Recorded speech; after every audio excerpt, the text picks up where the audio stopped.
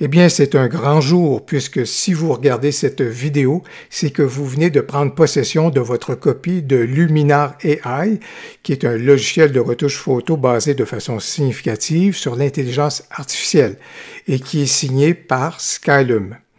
La vidéo d'aujourd'hui vise à vous accompagner dans vos premiers pas avec Luminar AI. Ça vise à partager avec vous des trucs et des conseils afin que vous soyez en mesure de bien connaître toutes les facettes du logiciel. Et il y en a beaucoup à découvrir.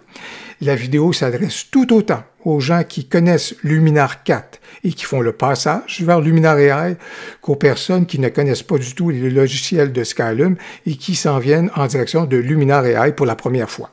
Si c'est votre première visite sur cette chaîne, bonjour, mon nom est Louis Lavoie, je suis l'auteur du blog et de la chaîne faire de la belle photo.com. C'est une chaîne qui s'applique à partager avec vous des trucs, des conseils, des astuces, de même que des découvertes afin que vous puissiez progresser dans votre cheminement photo. Si vous aimez des vidéos comme celle-ci, n'hésitez donc pas à cliquer sur j'aime, n'hésitez surtout pas à vous abonner. Et je vois que vous vous intéressez à Luminar et AI, ben ça tombe bien, j'ai justement déjà plusieurs vidéos sur le sujet. Avant de basculer au niveau de l'interface de Luminar AI, parlons de l'installation pour un instant, et plus particulièrement pour les gens qui sont titulaires ou propriétaires de Luminar 4. Il faut comprendre que Luminar AI est un logiciel de retouche photo complètement distinct de Luminar 4. Ce n'est pas une nouvelle version. Ce qui veut donc dire que lorsque Luminar AI s'installe, il s'installe de façon tout à fait indépendante de Luminar 4.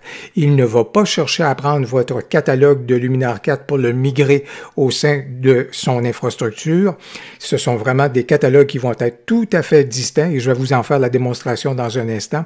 Mais il faut donc comprendre que Luminar 4 poursuit son chemin de façon tout à fait indépendante de Luminar AI. Alors là-dessus, il y a des choses. Par contre, il y a des éléments qui, vont avoir migré, je vais vous montrer lesquels, et vous allez être très heureux de constater quels sont les éléments qui ont donc été migrés d'une version à une autre.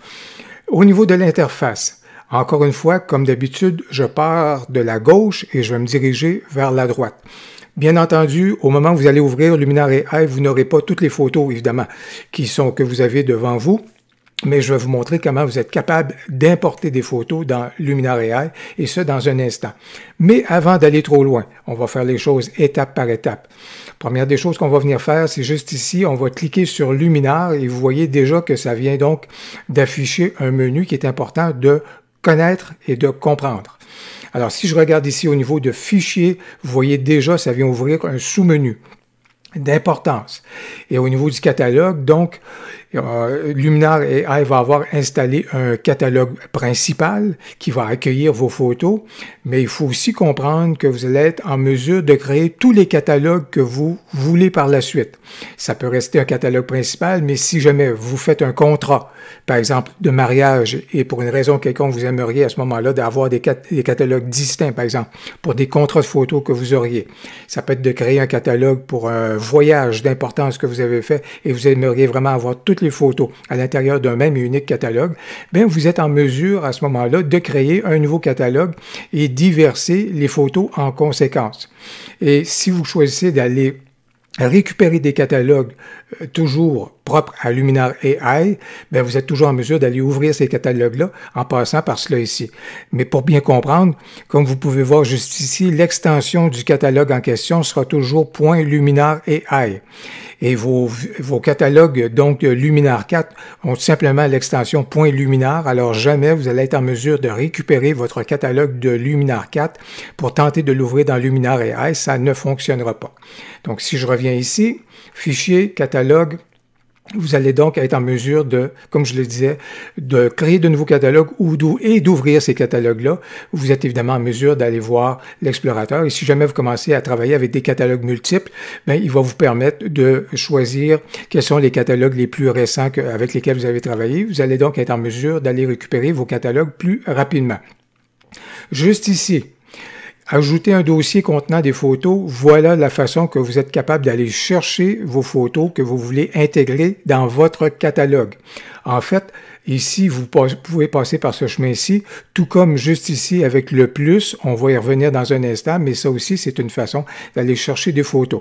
À ce stade-ci, vous pouvez aller chercher des photos dans des dossiers très spécifiques Ou encore, si vous voulez vraiment basculer l'ensemble de vos photos dans Luminar AI, ben à ce moment-là, vous êtes capable d'aller choisir le dossier maître à l'intérieur duquel vous avez plusieurs dossiers photos. Et en choisissant donc ce dossier-là, ben vous allez donc récupérer tous les sous-dossiers qui sont à l'intérieur de ce dossier maître-là. Il y a une chose qui est importante, quand on rajoute des photos dans un dossier qui est déjà à l'intérieur du catalogue de Luminar et AI, ben à ce moment-là, de façon dynamique, celui-ci reconnaît l'arrivée de nouvelles photos. Et si c'est donc un dossier qui est dans un catalogue, vous allez voir ces photos-là apparaître à ce moment-là à l'intérieur de votre bibliothèque. Alors, c'est pas plus compliqué que ça. Ça fonctionne de façon très dynamique. Mais si vous voulez faire vos premiers pas de façon prudente, à ce moment-là, pourquoi ne pas aller chercher un dossier de façon plus spécifique pour, euh, pour, importer vos photos? Et à ce moment-là, ça va être une façon intéressante de pouvoir faire vos premiers pas de façon beaucoup plus prudente. À l'intérieur donc de votre catalogue, vous êtes capable de créer des albums. Donc vous avez des dossiers et vous pouvez avoir un album qui va venir récupérer par exemple des thématiques particulières de photos. À ce moment-là, vous allez être en mesure de créer des albums et bien entendu, ceux-ci vont faire leur apparition dans le menu de droite, là où vous voyez catalogue. Est-ce que vous voulez retoucher une image unique? Alors, si vous passez par ce chemin-là, vous allez aller chercher une image en particulier. Et juste ici, c'est une commande que vous allez bien apprécier éventuellement parce que il y aura de nouveaux modèles qui vont vous être proposés. Il y aura des modèles qui seront vendus, que vous, pourrez acheter. Et ça va être par le truchement de ce menu-là, juste ici, que vous allez être en mesure d'ajouter ces modèles-là, si vous voulez, au logiciel. Alors, il faut donc se souvenir de ce chemin-ci éventuellement. Voulez-vous exporter la photo? Exporter dans un, si c'est un, format RAW, est-ce que vous voulez exporter la photo en format JPEG, en format TIFF? Ce sera donc possible de passer par là. Partager, vous voulez l'envoyer par courriel, vous voulez l'envoyer en direction de SmugMug ou de 500px, voilà donc des possibilités. Juste ici, oups, quelque chose d'extrêmement important, installer des modules. Vous voulez que Luminar AI soit un plugin à Photoshop. Vous voulez que Luminar AI soit un plugin à Lightroom. Installer des modules. Si vous cliquez là-dessus, vous venez voir juste ici installer Luminar AI comme un plugin. En fait, lorsque vous allez installer Luminar AI, il va dépister si vous avez Photoshop ou encore Lightroom. Il va vous dire, voulez-vous que ça devienne un plugin? Mais si jamais ça ne se fait pas lors de l'installation, sachez que vous pouvez passer par le menu que je viens juste de vous montrer pour dire, oui, à ce moment-là, je veux que ce soit installé. Oui, je veux que, euh, euh, que ce soit un plugin à Adobe Lightroom. Et comme vous pouvez voir, à ce moment-là, je viens de l'activer. Et la prochaine fois que je vais dans Lightroom, Luminary Eye va apparaître comme étant un plugin dans Lightroom. Après ça, je reviens encore ici, toujours sous fichier, installer des modules, les préférences. En fait, ici, c'est tout simplement le fait que vous donnez ou non la permission à Skylum de récupérer des données sur la façon que vous travaillez avec le logiciel. Au niveau de la langue, si jamais ça n'a pas été la bonne langue qui s'est installée, mais vous avez la possibilité de, donc, du choix des langues que vous avez à l'écran, imprimé et sorti. Voilà donc. Après ça, au niveau de l'édition, souvenez-vous bien des raccourcis que vous voyez comme c'est là. Un raccourci qui va être précieux parce que des fois, c'est une façon plus rapide de, naviguer donc dans nos opérations. CTRL Z, ça vient annuler la dernière opération que vous faites. Que ce soit dans la bibliothèque ou que ce soit dans l'édition, CTRL Z va toujours fonctionner. CTRL Y pour rétablir la commande que vous avez annulée, pour rétablir celle-ci. Ça, c'est quelque chose qui va être intéressant. Encore ici, on va y revenir, il y a d'autres façons de le regarder, mais au niveau de vos photos, quand vous êtes dans la bibliothèque, Souvenez-vous également des raccourcis. Un P, ça veut dire que c'est une photo que vous voulez conserver. Vous l'aimez. Elle devient même une de, vos photos favorites. Euh, rejeter, ça veut dire X, ça, ça veut dire qu'éventuellement vous voulez la supprimer, ou encore U, elle est non marquée. Donc il y a des raccourcis qui sont ici. Vous n'avez pas besoin, euh, les raccourcis que vous voyez là vous seront très utiles et vous n'aurez pas besoin de revenir euh, dans ce menu-là pour marquer vos photos euh, par rapport à tout ça. Est-ce que vous voulez les faire pivoter? C'est donc par le truchement de ce menu-ci, si vous voulez les faire pivoter, à ce moment-là, c'est là. Et un élément qui est important ici, je le porte à votre attention. Si vous faites des ajustements à une photo et que vous voulez copier ces ajustements-là à une autre photo ou à un ensemble de photos, c'est là qu'on a la fameuse, on est capable de faire de l'opération batch, donc en lot. Alors ça ici, c'est très important à connaître, les ajustements. Et la façon de le faire, c'est tellement simple, CTRL-C. C'est quelque chose qui est très universel lorsqu'on veut copier les ajustements et lorsqu'on veut coller les ajustements à ce moment-là à, des photos, ben c'est CTRL-V. Alors si je voulais copier les ajustements qui ont été apportés à des photos, admettons, euh, les ajustements qui auraient été apportés à cette photo-ci, alors, je copie les ajustements et je viens dire ici, ici et ici, je vais apporter les mêmes ajustements à ces photos-là. Ben, je pourrais faire CTRL-V pour coller les ajustements ou encore clic, bouton droit, ajustement et coller les ajustements. Ça me, ça me permettrait donc à ce moment-là de traiter les trois photos qui sont là si j'ai bien aimé le traitement que j'ai apporté à celle-ci. Alors, c'est donc quelque chose qui est très, très, très pertinent et au niveau des ajustements. Aller vers les images avec la même date, ça, ça va nous permettre de manœuvrer plus rapidement au niveau de notre bibliothèque. Et lorsqu'il y a des photos, s'il y a des photos que vous voulez envoyer, par exemple, vers la corbeille, il faut comprendre ici, ça vient dire la corbeille luminaire. C'est donc une espèce de corbeille qui n'est pas la corbeille de votre ordinateur, c'est une espèce de corbeille qui est temporaire. Et éventuellement, dans cette corbeille-là de luminaire, vous pourrez aller la vider de façon à ce que là, à ce moment-là, les fichiers vont vraiment aller en direction de la corbeille de votre ordinateur.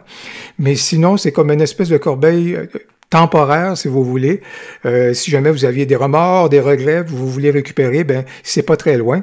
Euh, alors, ça nous permettrait donc de faire des choses comme ça. Par exemple, dans ce cas ici, je lui ai dit que je vais déplacer, la déplacer, cette photo-ci, vers la corbeille.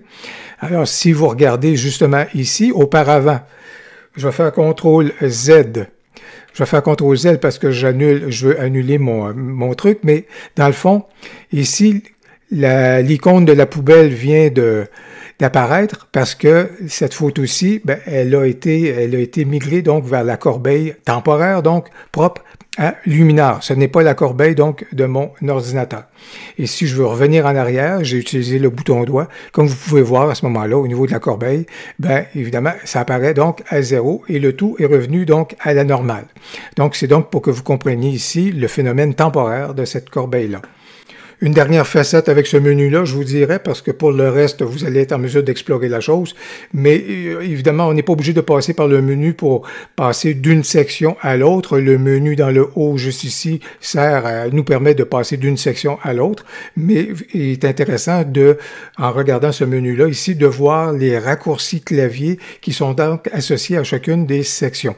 Parlant de raccourcis, clavier, vous allez retrouver dans le descriptif de la vidéo les raccourcis clavier pour Windows ou encore pour Mac qui sont propres à Luminar AI, tout comme il l'était au niveau de Luminar 4.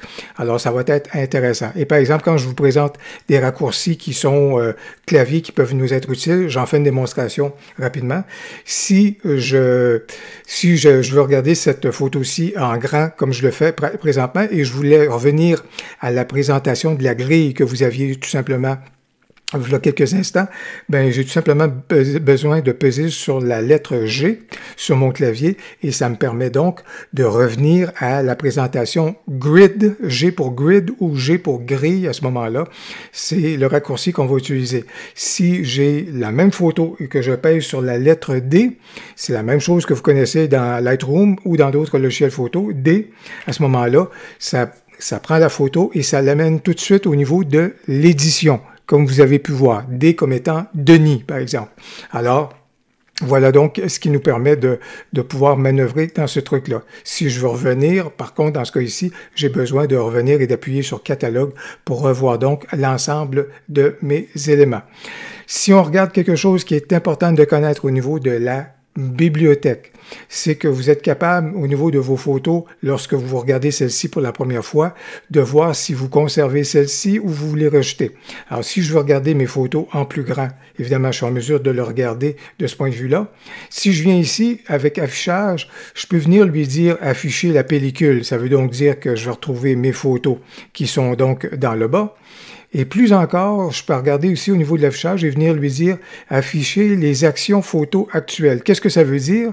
C'est que pour chacune des photos que je vais regarder, est-ce que je choisis de la supprimer ou je choisis d'en faire une favori? Alors, c'est là qu'on va être capable de regarder les choses. Et bien entendu, il y a des raccourcis associés à cela ici. Si vous appuyez sur la lettre X, ça veut dire que vous, vous inscrivez un X sur la photo, ça veut dire que vous entendez la supprimer. Par contre, si vous appuyez sur la lettre P, à ce moment-là, ça veut donc dire que la photo devient une favori et donc elle sera donc associée à vos favoris. Et justement, donc, dans le catalogue juste ici à la droite, vient d'apparaître une catégorie qu'on ne voyait pas jusqu'à maintenant et ça s'appelle les favoris parce que j'ai inscrit cette photo-ci comme étant l'une de mes favoris. Alors, ça, c'est cela. Je peux continuer évidemment au niveau donc du cheminement de mes photos. Et supposons que celle-ci me plairait moins, mais ben, si je fais un X à ce moment-là, vous voyez que le X apparaît juste ici, et ça veut dire qu'éventuellement, cette photo-là sera donc, est donc susceptible d'être euh, supprimée. Alors voilà donc sur de la façon qu'on est capable de passer au travers de nos photos et ça permet tout simplement ce type de catalogage-là. Non, vous ne retrouvez pas de code de couleur. Non, vous ne retrouvez pas de numérotation comme on a dans d'autres logiciels où on vient dire euh, un, ça ici c'est une étoile ou deux étoiles, trois étoiles, quatre étoiles ou cinq étoiles ou des trucs de genre. Les seules possibilités qu'on a actuellement pour la bibliothèque, c'est soit que c'est la photo est favori ou encore elle est susceptible d'être supprimée, donc avec le X. Je vais passer par-dessus juste ici, juste pour compléter ce qu'on retrouve à la droite dans notre interface de catalogue. Alors, vous avez toute la, dimension ici qui sont euh, segmentées. Au niveau juste ici, ça vous permet de voir quel est le format que vous voulez des images qui vous sont présentées, en plus grand format ou en plus petit format. C'est ici que vous allez être en mesure d'ajuster à ce moment-là la taille des vignettes qui vous sont préparées, présentées pour faire vos, euh, vos choix. Bien entendu, le module d'aide qui se retrouve juste ici. Au niveau du catalogue, vous avez quand même un outil de recherche euh, qui vous permettrait d'aller peut-être retrouver des fichiers par extension, ça peut être par date, comme vous pouvez le constater. S'il y a des, des noms à vos fichiers qui vous permettent de les retracer, à ce moment-là, vous allez pouvoir utiliser cet outil-là de recherche pour pouvoir manœuvrer dans vos éléments. Vous double-cliquez sur une section et voilà, ça vous les présente par défaut à ce moment-là en, par date, euh, euh, par la date de capture donc de vos de vos photos. Donc ça profite des données EXIF de vos photos, les retouches d'images uniques que vous auriez là, les images qui ont été récemment ajoutées, ça vous permettrait de retracer encore là des éléments, éditer ou des éléments qui seraient dans votre poubelle. Donc, bien entendu, c'est donc une possibilité donc de pouvoir retrouver tout ça. Si vous voulez refermer des sections, vous avez juste besoin de double-cliquer et ça referme. Et bien entendu, si vous avez créé des albums, si vous avez créé des albums, ben ceux-ci vont apparaître juste ici en dessous. Et si jamais vous pointez sur une, une image en particulier, admettons celle-ci, ben dans le bas juste ici, vous allez retrouver les données, le titre du fichier en question et certaines informations si vous voulez, au niveau donc des données EXIF de la photo en question. Ça vous permettrait donc de regarder tout cela.